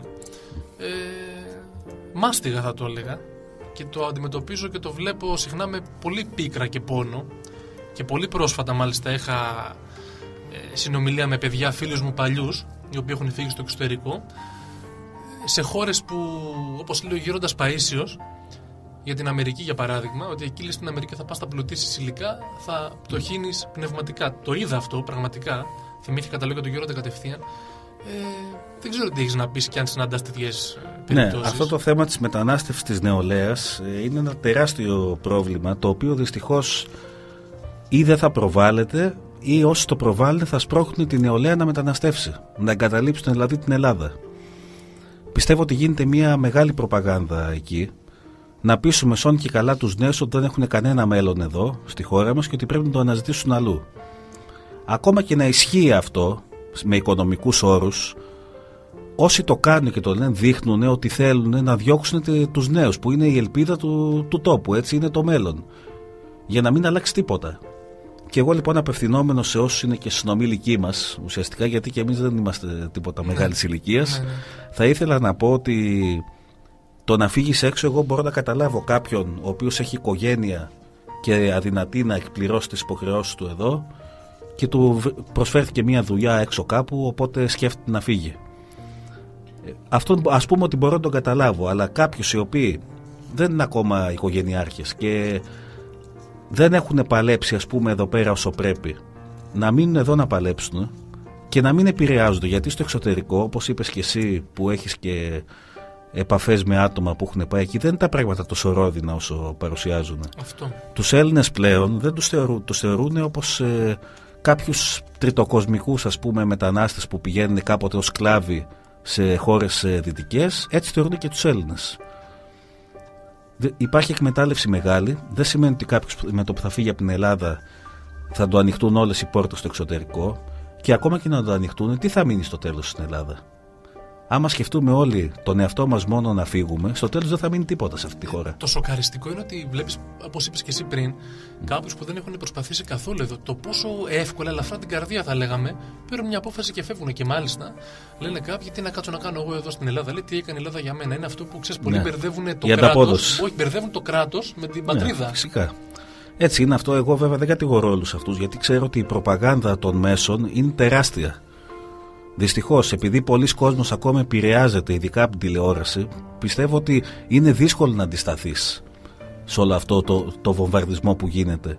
Αλλά υπάρχει όντως η νοοτροπία που είπες ότι θέλω ανταπόδοση. Ότι ζω σε αυτή τη χώρα, θέλω μία ανταπόδοση. Το οποίο, αν το πάρουμε με μία λογική άποψη, ορθολογιστική, δεν είναι παράλογο 100%. Απλώς δείχνει εγωισμό. Γιατί πιστεύω ότι αυτά τα άτομα, ακόμα και να είχαν την ανταπόδοση που λένε, πάλι θα φεύγανε. Όσοι το λένε έτσι. Για φέρε λίγο στο μυαλό σου και απάντησε με αν μπορείς, βέβαια, ναι. είναι ρητορικό το ερώτημα. Αν σκεφτόταν έτσι ο Κολοκοτρόνη, ο Καραϊσκάκης, ο Μακριάννη, πού θα μα Ο Κολοκοτρόνη, για παράδειγμα, είχε σπουδάσει στρατηγική, νομίζω, σε σχολή ε, στα Επτάνησα. Που, ε, με τους Άγγλους. Ε, σε αγγλική σχολή είχε σπουδάσει. Και είχε όλα τα εχεία και του είχαν προτείνει να γίνει και αξιωματικός του αγγλικού στρατού. Γιατί ήταν μεγάλο μυαλό στρατηγικό κολοκοτρόνη, από τότε το είχαν καταλάβει οι ξένοι. Αν λοιπόν καθόταν εκεί και δεν έπιανε τα βουνά της Πελοποννήσου να ζει σαν κλέφτης με όλες τις κακουχίες που υπάρχουν, αυτή τη στιγμή θα ήμασταν ακόμα υπόδουλοι. Και περίμενε ανταπόδοση; Καμία ανταπόδοση. Όπως και άλλοι. Ο Νικηταράς, ας πούμε, ένας άλλος αγωνιστής παράδειγμα, μετά από μία μάχη, νομίζω στα Δερβενάκια είχε ναι. γίνει αυτό, είχε πάει ο Κολοκοτρόνη να του προσφέρει δύο πιστόλες ασημένιες για, για λάφυρα που τους είχαν κερδίσει. Και λέει: Ορίστε, λέει, πάρε εδώ πέρα να έχεις και εσύ κάτι να θυμάσαι ως ενθύμιο από τη μάχη. Εγώ λέει: Δεν πολεμώ για αυτά, λέει ο Νικηταρά, για τις ασημένιες πιστόλες. Πολεμώ για την πατρίδα μου και για την πίστη μου. Το ίδιο έκανε και ο Καποδίστριας. Είναι ένα άλλο παράδειγμα. Που είχε αρνηθεί όλους τους μισθούς του, τους ε, πρωθυπουργικούς, όλα τα τις πολυτέλειες, τα ανάκτορα. Είχε αρνηθεί τα πάντα για να υπηρετήσει το λαό. Οπότε το ερώτημα, το αν πρέπει εμείς να περιμένουμε ανταπόδοση, είναι όπως ένας ε, χριστιανός ας πούμε ο Φαρισαίος ας πούμε της γνωστής παραβολής του τελών και του Φαρισαίου που έλεγε ο Φαρισαίος στη μέση του ναού ότι εγώ Θεέ μου κάθε μήνα ή κάθε εβδομάδα δεν θυμάμαι πως το έλεγε σου δίνω το τάδε μέρος από την περιουσία μου ως φιλανθρωπία άρα και εσύ κοίταξε να με κατατάξεις ε, εκεί που πρέπει δεν πάνε έτσι όμως αυτές οι σχέσεις ανταπόδοσης εσύ κάνεις αυτό που πρέπει να κάνεις και από εκεί και πέρα το αν κάποιος θα σου ανταποδώσει κάτι είναι άλλο θέμα. Να σου πω κάτι που μπορεί να ακουστεί βαρύ και ας με συγχωρέσουν οι ακροατές, ας με συγχωρήσει οποιοδήποτε νομίζω ότι φύγεται. Ε, έκανα μια κουβέντα πρόσφατα για το συγκεκριμένο θέμα της μετανάστευσης των νέων. Αν το θεωρήσω προδοσία, θα είμαι υπερβολικός. Και θα σου ε, πω λίγο τι εννοώ. Ναι, εγώ δε, επειδή. Κοίταξε, οι περιπτώσεις είναι διαφορετικές και εγώ είχα κάποτε ίσως μια πιο απόλυτη άποψη. Αλλά υπάρχουν πραγματικά περιπτώσεις νέων που μεταναστεύουν με οικογένειες που εδώ πέρα αν ζούσαν ε, θα πίναγαν. Μιλάμε τώρα για οικογένειες με παιδιά. Ναι. Ένας γιατρός, ας πούμε, που μένει εδώ και παίρνει 800 ευρώ ή 700 και έχει μια οικογένεια τέσσερα άτομα συνολικά, αν μείνει στην Ελλάδα θα πεινάσει ή θα κάνει παρανομίες για να επιβιώσει. Ναι. Στα άτομα που. Στα άτομα που είπαμε, λοιπόν, τα οποία σκέφτονται πιο συμφεροντολογικά, ναι, εγώ το θεωρώ προδοσία.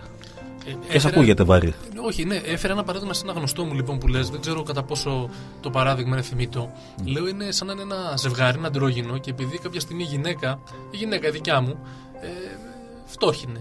Ναι. Θα της πω, ξέρεις κάτι, εγώ θα πάω τώρα να ζήσω με μια άλλη γυναίκα που είναι καλά, ευκατάστατη οικονομικά και αν κάποια στιγμή τα πράγματα σε σένα καλυτερεύσουν, θα επιστρέψω και κοίτα εκεί που θα είμαι, γιατί έτσι λένε και οι περιοριστερικοί που θα είμαι, θα σε αγαπάω πιο πολύ. Γιατί έτσι δεν λένε για τους ναι, Έλληνες ναι, του ναι. εξωτερικού. Ότι οι Έλληνες του εξωτερικού λένε πιο πολλοί Έλληνες από εμάς. Ναι. Αυτό ισχύει ίσως σε κάποιο βαθμό. Για τους τωρινούς μετανάστες δεν είμαι σίγουρος, γιατί πρέπει να περάσουν κάποια χρόνια για να αποδειχτεί. Αλλά όντως ε, οι Έλληνες του εξωτερικού που μετανάστευσαν παλιά, που υπήρχε πείνα στην Ελλάδα πολύ χειρότερη από τώρα. Έτσι, ναι. είναι όντως ε, πολλοί πατριώτες και δεν μπορώ να πω κάτι. Αλλά για το παράδειγμα που έφερες, ε, όντως δεν μπορούμε κάθε μέρα να υπολογίζουμε να βλέπουμε τον άλλον υπολογιστικά. Είτε είναι αντρόγινο, είτε είναι σχέση πολίτη ε, χώρας δεν μπορείς να βλέπεις μόνο με υπολογιστικό μάτι πόσα θα μου δώσεις, πόσα θα σου δώσω. Αν δεν με συμφέρει πάω αλλού. Αυτό είναι καθαρά εμπορική σκέψη που δεν πρέπει να υπάρχει σε αυτές τις περιπτώσεις. Είναι μεγάλο το θέμα και δύσκολο εν πάση περιπτώσει. Πάμε σε ένα μουσικό διάλειμμα και επανερχόμαστε να κλείσουμε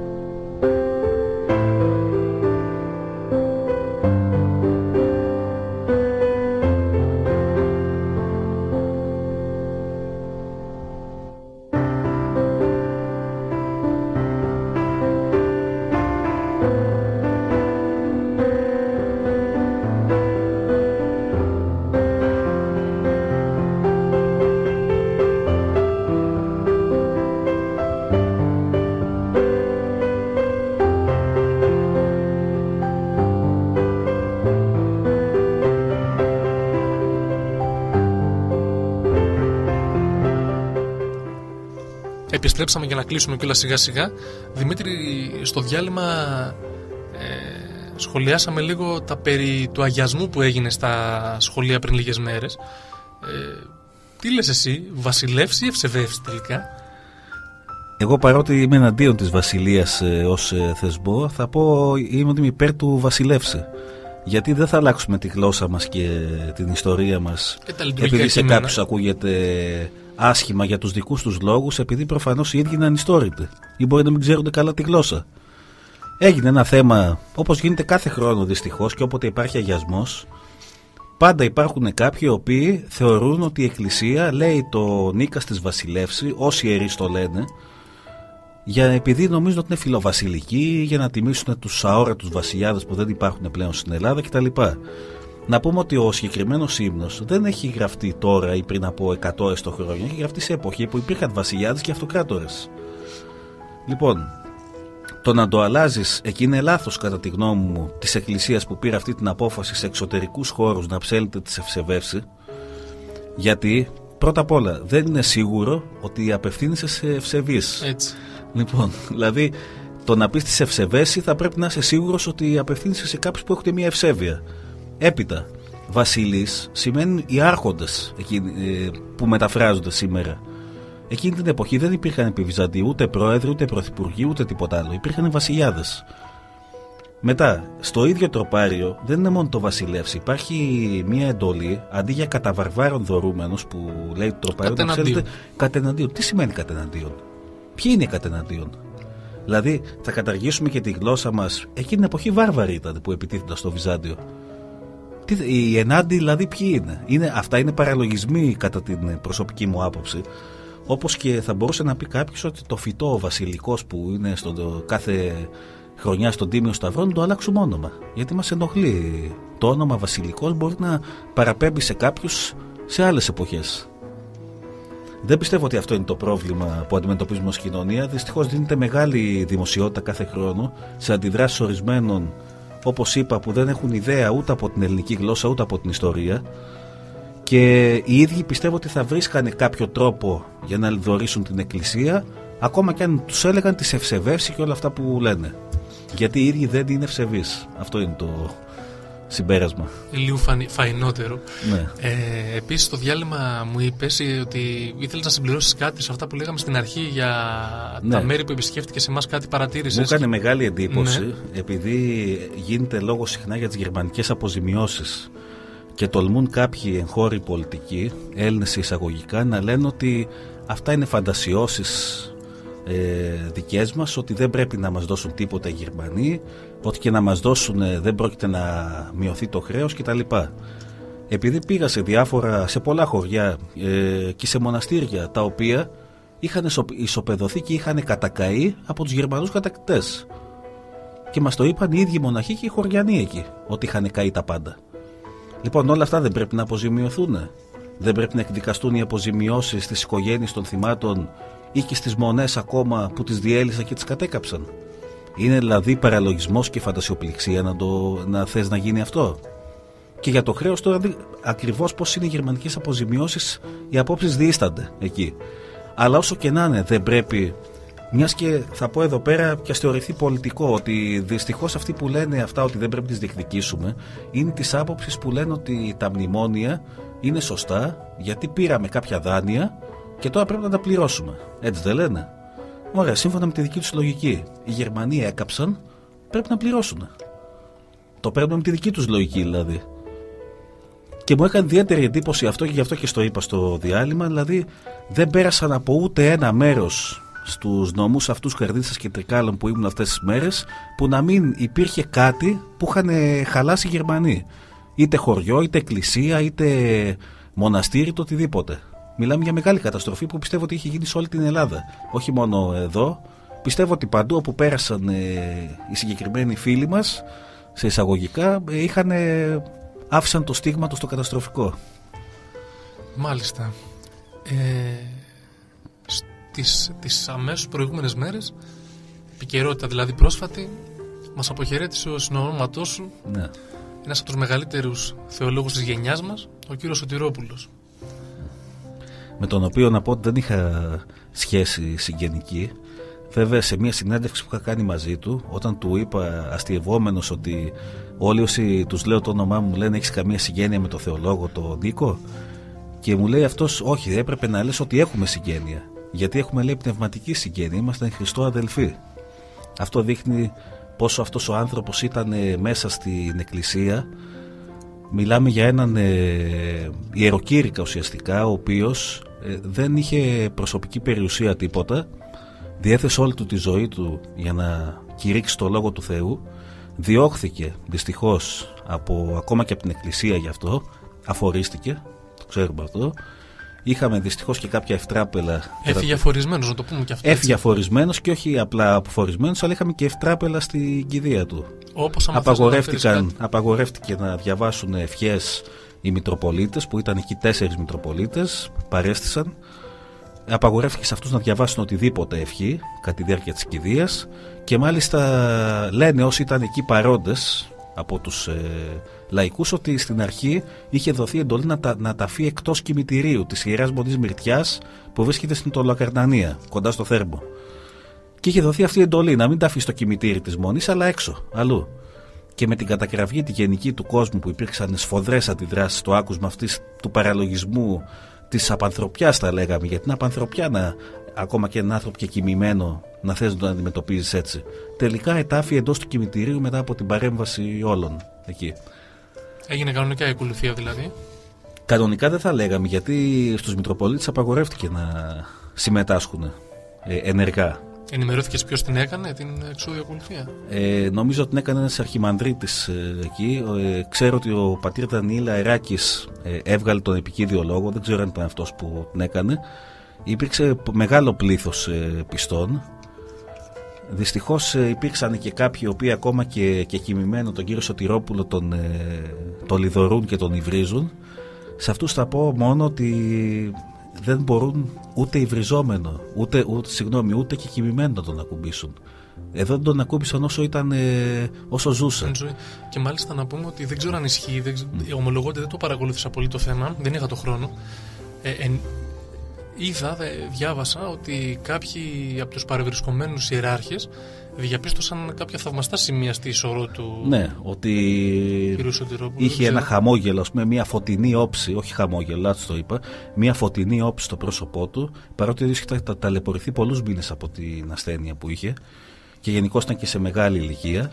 Εδώ να πω ότι εγώ τον είχα γνωρίσει προσωπικά τον κύριο Σωτηρόπουλο πέρυσι το Δεκέμβριο που είχε έρθει στην Αθήνα για κάποιες μέρες.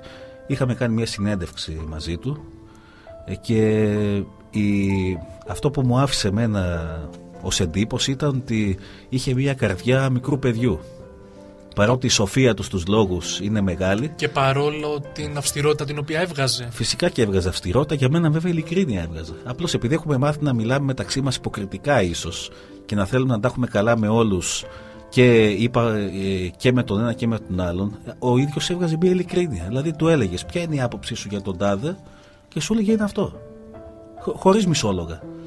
Ίσως αν θα μπορούσαμε να το πούμε και μια αγανάκτηση κατά κάποιο τρόπο. Είναι αγανάκτηση, αλλά πρόσεξε, είναι βασισμένη πάνω στην Αγία Γραφή. Ο ίδιος, Ιερή αγανάκτηση. Ναι, ναι. Είναι, είναι, ήταν θεολόγος ο οποίος έπαιζε, για να το πούμε λαϊκά, την Αγία Γραφή στα δάχτυλα. Εγώ ναι. προσωπικά δεν έχω συναντήσει άλλους θεολόγους ή ιεροκήρυκες και κήρυκες που να μιλάνε επί ώρες ατελείωτες, δύο με τρεις ώρες, χωρίς την Αγία Γραφή και να τα λένε όλα απ' έξω με επιχειρηματολογία, να αποστομώνουν τους πάντες. Ο ίδιος έχει συμμετάσχει σε συζητήσεις με πεντηκοστιανούς, με Ιεχωβάδες. Αυτό ήθελα να πω ότι τον είχα παρακολουθήσει ναι. όταν αντιπαρατίθετο με κάποιους τέτοιους, το πόσο. Ε, γενικότερα δεν ήταν εύκολος ε, αντίπαλος. Είναι δύσκολο να τους αντιμετωπίσει όλους αυτούς, γιατί αυτοί έχουν την Αγία Γραφή μπροστά και σου λέει, σου ε, παρεμηνεύουν και την τελεία ακόμα. Ο ίδιος αποστόμωνε. Γιατί πιστεύω ότι είχε τη φώτιση του Θεού. Δεν, δεν είναι δηλαδή, όσο και κάποιος να είναι ικανός καθηγητής, να έχει διαβάσει, πρέπει να έχει και μια θεία φώτιση για να ανταπεξέλθει σε ορισμένα πράγματα. Ο κύριος Σωτηρόπουλος την είχε. Ο Θεός να τον αναπαύσει λοιπόν. Ε, Δημήτρη, τελειώνουμε κάπου εδώ. Ναι. Ε, να πω εγώ για όσους θέλουν να επικοινωνήσουν μαζί μας, το τηλέφωνο ξανά του σταθμού είναι 24 32 0 78 420. Το email του σταθμού radio agiameteora.net, Δημήτρη το email. Ή το της ιστοσελίδας και της εκπομπής φυσικά, Ελλάς Ορθόδοξη, όλο μαζί αυτό χωρίς κενό, παπάκι gmail.com. Τι θα έχουμε στην επόμενη εβδομάδα, έχεις τίποτα; Ε, να πεις στους ακροατές; Θα δούμε, υπάρχουν πολλά θέματα τα οποία δεν συζητήσαμε τώρα γιατί λόγω έλλειψης χρόνου. Ε, πολλά από αυτά που είπαμε, επειδή αναφερθήκαμε σε αρκετά θέματα, ίσως θέλουν ε, να εμβαθύνουμε περισσότερο. Και γι' αυτό θα ήθελα να παρακαλέσω όσους άκουσαν και έχουν κάποιες αντιρρήσεις, κάποιες ενστάσεις για οποιοδήποτε θέμα, να μας τη στείλουν στο email ή στο τηλέφωνο και θα χαρούμε να απαντήσουμε. Γιατί, όπως είπα στην αρχή, η επικοινωνία πρέπει να είναι αμφίδρομη, όχι μόνο να είναι έστω διάλογος δύο ατόμων, αλλά να υπάρχουν και παραπάνω. Και όσοι ακροατές νομίζουν ότι θέλουν να επέμβουν και στην εκπομπή. Τηλεφωνικά. τηλεφωνικά ναι. Στο τηλέφωνο που είπαμε, κατόπιν συνεννοήσεως, να μας συγχωρέσουν αν είπαμε κάτι που πικράναμε και στεναχωρέσαμε τον κόσμο. Αλλά κοίταξε, εμείς... κοίταξε να δεις όμως. Ε, αυτό σου είπα πριν για τον κύριο Σωτηρόπουλο. Του είχα πει αυτό περί αγάπης που επικαλούνται πολύ ότι πρέπει ο χριστιανός να έχει πάνω απ' όλα αγάπη. Ναι, όντως ισχύει αυτό. Αλλά η αγάπη δεν είναι η ανηλικρίνεια. Η ειλικρίνεια είναι κατεξοχήν έκφραση της αγάπης. Δηλαδή, κάποιον που έχεις απέναντί σου θα του λες ψέματα ότι τον αγαπάς ενώ τον μισείς. Δεν γίνεται αυτό. Έχει παρεξηγηθεί αυτό στην εποχή μας όπως και πολλά άλλα. Το είπες στο Σωτηρόπουλο αυτό; Εγώ, άμα δεις τη συνέντευξη που έχει γίνει, συνεχώς εξέφραζα τις αντιρρήσεις που έχουν και πολλοί πολέμοι του, επειδή ήθελα να δω έτσι κατά πόσο ε, μπορώ να τον ε, πιάσω κάπου, ας πούμε. Ναι. λοιπόν, αλλά, Δεν πιάστηκε όμως, ε. ε, παρότι η συνέντευξη αυτή δόθηκε, όπως είπα, ε, λίγο πριν την ε, κοίμησή του, ήταν ε, καταιγιστικός. Πιστεύω ότι ακόμα και αυτοί που παρεξηγούνται από τα λεγόμενά του θα αναγνώρισαν ότι έχει το θάρρος της γνώμης του και της αλήθειας. Λοιπόν, θα ήθελα επίσης να πω σε αυτά που είπες πριν στο κλείσιμο ότι όποιος έχει κάποιες προτάσεις για την εκπομπή, δηλαδή να κάποιες ιδέες, να πούμε κάτι, να προβάλλουμε κάποιον. Υπάρχει ας πούμε η σκέψη να προβληθούν κάποιες μορφές του Αγίου Όρους, οι οποίες πιθανόν να είναι και άγνωστες σε μερικούς ή κάποιο άλλο ζήτημα που απασχολεί, είτε είναι κοινωνικό είτε εθνικό. Μπορούν να το στέλνουν; Ακόμα και πολιτικό, γιατί ξέρεις υπάρχει μια άποψη που κυριαρχεί δυστυχώς και σε θρησκευόμενους ανθρώπους ότι η Εκκλησία δεν πρέπει να ασχολείται με πολιτική ούτε ο πιστός. Εδώ να πούμε ότι η πολιτική δεν είναι τα κόμματα. Αυτό είναι με κόμματα δεν ασχολείται, όχι, η, όχι πολιτι- με πολιτική. η πολιτική δεν είναι να λες τι έκανε ο τάδε βουλευτής ή ο τάδε υπουργός. Αυτό είναι κουτσομπολιό. Έτσι όπως το παρουσιάζουν στις ειδήσεις και στα μέσα μαζικής ενημέρωσης. Πολιτική είναι και η καθημερινή μας ζωή. Δεν επηρεάζεται από όλα αυτά που αποφασίζουν. Η πολιτική λοιπόν πρέπει να. Και θέλω να κλείσω με αυτό για να μην κουράζω κιόλας ότι αυτό που είπα πριν σε κάποιο σημείο ότι πρέπει αυτά που σκεφτόμαστε μεταξύ μας και λέμε να τα λέμε και έξω. Να μην κλεινόμαστε στον εαυτό μας ούτε σε μια παρέα που πιθανόν να έχει τις ίδιες απόψεις με εμάς. Να προσπαθήσουμε να κάνουμε ας το πούμε και υπερβολικά όπως είναι μια κατήχηση.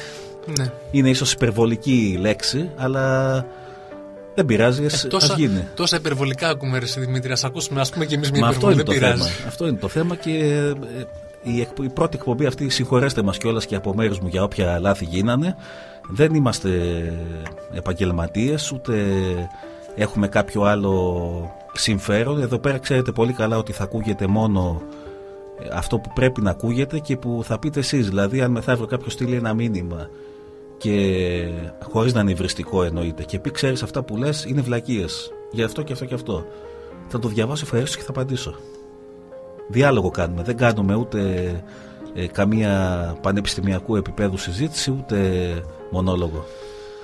Λοιπόν, Δημήτρη, σε ευχαριστώ πολύ. Αγαπητοί Ευχαριστώ ακροατές, και ευχαριστούμε πολύ που μας παρακολουθήσατε μέχρι την ερχόμενη Πέμπτη στις 8. Ο Θεός μαζί σας. Γεια σας.